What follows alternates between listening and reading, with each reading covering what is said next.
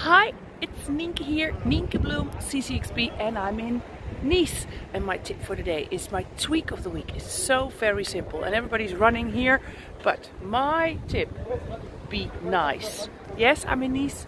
I think being nice, being empathetic to your colleagues, to your customers, um, it brings so much. It brings much to you, it brings much to others. So, tweak of the week is just be nice, short and simple. Bye from France.